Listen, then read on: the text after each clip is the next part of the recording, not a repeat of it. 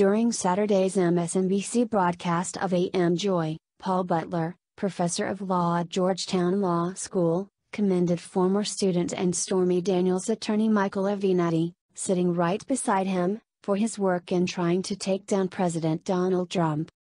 According to Butler, Avenatti and FBI Special Counsel Robert Mueller are Justice League trying to save democracy.